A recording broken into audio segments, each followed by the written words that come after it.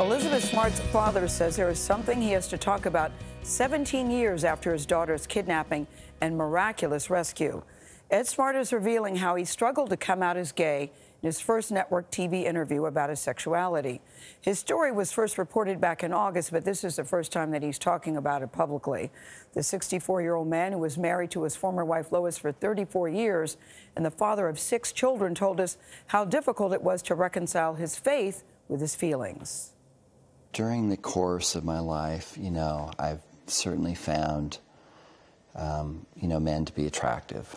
I was taught that that was not acceptable, that that was something that you were a deviant, you were a bad person if you thought those things. But you know you're not a deviant, Ed. No, no.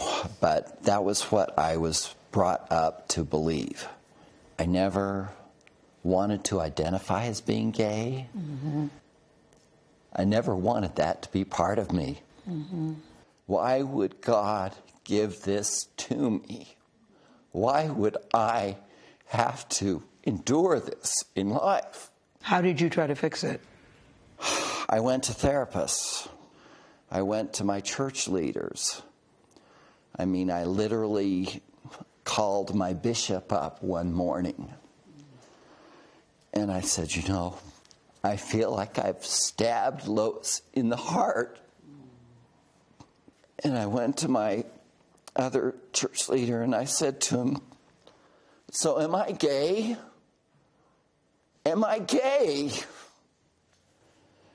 And he said to me, I don't think so.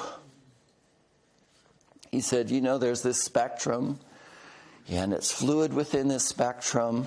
When he said, I don't think you're gay, did you feel relieved at hearing that? You're thinking, okay, maybe I'm not. Um, yes, I was praying that I was not. I didn't want to believe that I was. How do you get, how do you cure being gay? There is no cure. And for all of those out there that are struggling in this same spot, there is no cure. But th- that's part of why you're speaking. Yes, it is. It is the reason why I'm speaking. This is absolutely not a choice. And I wish my wife knew that. I wish that more than anything. He is so concerned. It, it, is, it is, I have to say, very powerful. Even we all walked out of there. Your heart just opens up to him because can you imagine living your whole life not being able to be who you are? He's very, very concerned about his ex-wife Lois because the last thing he of wanted course. to do was hurt her yeah. and certainly not hurt his family. But he said he could just no longer live this way. You know, people would say he had a, you have a problem. He goes, you know what my problem was?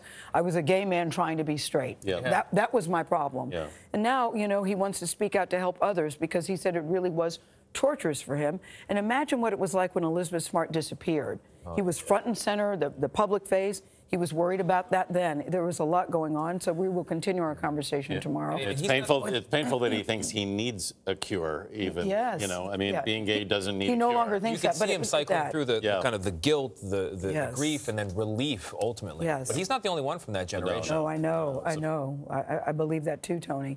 You'll see more of our conversation with Ed Smart tomorrow. He'll talk about the difficult process of coming out to his family.